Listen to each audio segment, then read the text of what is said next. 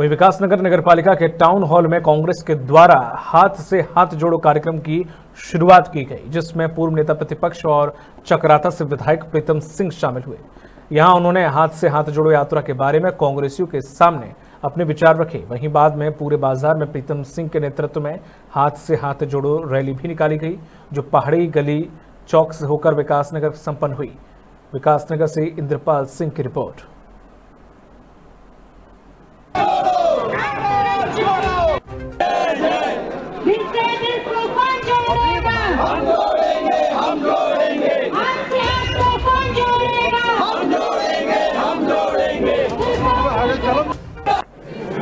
देश के सांप्रदायिक सौहार्द को बनाए रखने के लिए, बढ़ती हुई महँगाई पर लगाने के लिए, बेरोजगारी से नौजवान छात्रों दिलाने के लिए, देश के संविधान को बचाने के लिए,